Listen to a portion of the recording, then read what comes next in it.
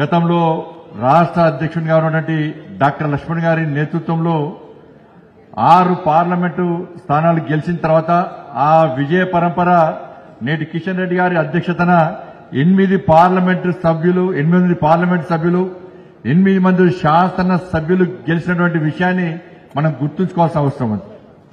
దీని ప్రధాన కారణం ఏంటంటే గతం నుంచి కూడా భారతీయ జనతా పార్టీ తెలంగాణ రాష్ట్రంలో ఉమ్మడి ఆంధ్రప్రదేశ్ నుంచి తెలంగాణ రాష్ట్రం ఏర్పడ్డ తర్వాత కూడా భారతీయ జనతా పార్టీ తెలంగాణ రాష్ట్ర ప్రజల కోసం ఈ తెలంగాణ రాష్ట్రంలో ధర్మాన్ని కాపాడడం కోసం పేద ప్రజల సం- పేద ప్రజలను కాపాడడం కోసం ఈ పాలక నుంచి ఈ తెలంగాణ రాష్ట్రాన్ని రక్షించడం కోసం చేస్తున్నటువంటి ప్రయత్నాలు చేస్తున్నటువంటి ఉద్యమాలు చేస్తున్న పోరాటాలు ఎన్ని కష్టాలు వచ్చినా ఎన్ని ఇబ్బందులు వచ్చినా అన్నింటిని భరిస్తూ అన్నిటికీ తెగిస్తూ చేస్తున్న ఉద్యమాల ఫలితంగా ఈ తెలంగాణ రాష్ట్ర ప్రజలకు భారతీయ జనతా పార్టీ మీద ఒక విశ్వాసం నమ్మకం ఏర్పడిందన్న విషయాన్ని మనం గుర్తుంచుకోవాల్సిన అవసరం ఉంది.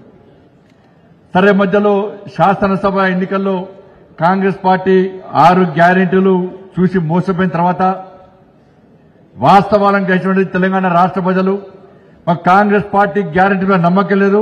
మాకు ఏకైక గ్యారంటీ నరేంద్ర మోడీ గారి గ్యారంటీ మీద మాత్రమే మాకు విశ్వాసం ఉందన్న విషయాన్ని గుర్తించిన ప్రజలు పార్లమెంట్ ఎన్నికల్లో తెలంగాణ శాసనసభలో ఎన్నిక జరగడం తప్పిదాన్ని గుర్తించి పార్లమెంట్ ఎన్నికల్లో భారతీయ జనతా పార్టీకి అనుకూలంగా ఓటు వేసిన విషయాన్ని మనం గుర్తుంచుకోవాల్సిన అవసరం కేవలం నరేంద్ర మోడీ గారి ఇచ్చిన స్ఫూర్తి నరేంద్ర మోడీ గారి యొక్క గ్యారంటీ విషయంలో ఈ తెలంగాణ రాష్ట్ర ప్రజలు విశ్వసించారు కాబట్టి మనం ఎనిమిది పార్లమెంటు స్థానాల్లో మనం గెలిపించడం ఒక సరిహద్దు ఒక ఆర్మీ జవాన్ నడితే మాకు గ్యారంటీ నరేంద్ర మోడీ అంటారు.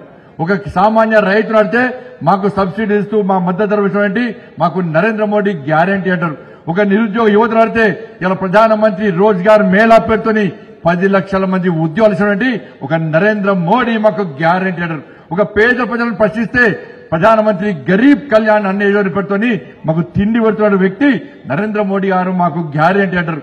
ఒక అక్క నడితే మాకు ప్రధానమంత్రి ఆవాస్ యోజన కింద ఇల్లు నిర్మించిన ఘనత నరేంద్ర మోడీ గారు అంటే నరేంద్ర మోడీ గారు మాకు గ్యారెంటీ అంటారు. ఒక గ్రామీణ ఉపాధి హామీ మహిళ నడితే మాకు ఉపాధి కల్పించిన వ్యక్తి నరేంద్ర మోడీ గారు చెప్పి ఒక సామాన్య మహిళ కూడా అడిగిన పరిస్థితి చెప్పే పరిస్థితి అలా తెలంగాణ రాష్ట్రంలో వచ్చేది.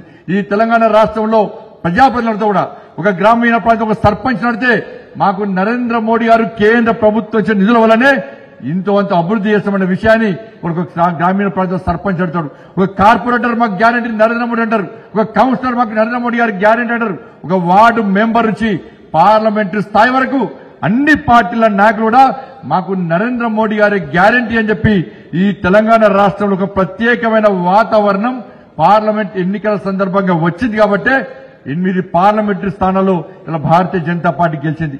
మిగతా స్థానాలు కూడా అనుకున్న స్థాయిలో కూడా ప్రజలు మనకు ఓట్లేసి ప్రయత్నం చేశారు. కాబట్టి ఈ విషయంలో మనం ఆలోచించాల్సిన అవసరం ఉంది.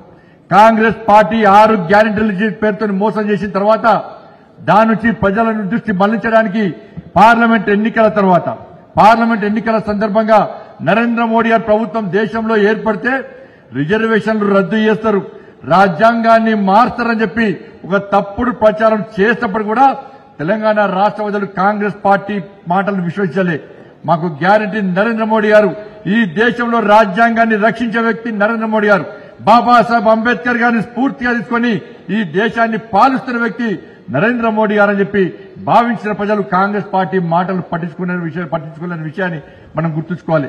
ఈ తెలంగాణ రాష్ట్ర ప్రజలు మోడీ గారి మీద గ్యారెంటీ. ఈ తెలంగాణ రాష్ట్రంలో అనేక ఉద్యమాలు చేసిన భారతీయ జనతా పార్టీ కార్యకర్తలు.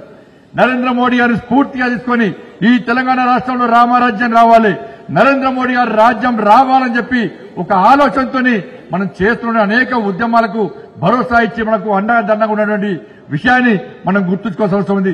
తెలంగాణ ఉద్యమ సమయంలో గాని దాని తర్వాత జరిగిన పోరాటాల ఫలితంగా గాని దాని తర్వాత జరిగిన ప్రజా సంగ్రామ యాత్ర విషయంలో గాని దాని తర్వాత కిషన్ రెడ్డి గారి నేతృత్వంలో జరిగినటువంటి ఆందోళన కార్యక్రమాల్లో ఇలా కార్యకర్తలు పోరాటం చేసిన తీరును చూసి ఇలా భారతీయ జనతా పార్టీకి మద్దతు తెలిపిన విషయాన్ని మనం గుర్తుంచుకోవాలి.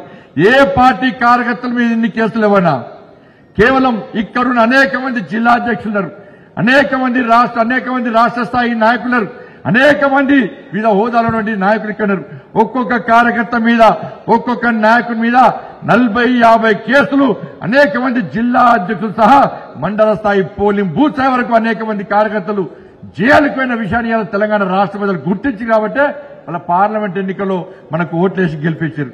ఎక్కడ కూడా ఎవరికి అడిగేయలే ఇలా పోలింగ్ బూత్లో మేము గెలిచామంటే ఇవాళ ఎక్కడ కూడా బండి సంజయ్ ఇక్కడ గెలిచామంటే ఏ నాయకుడు కూడా పోలింగ్ బూత్లో తిరగలే మేము. ఇంటింటికి తిరిగేలా తిరిగే అవకాశం లేకుంటే పార్లమెంట్ ఎన్నికలు.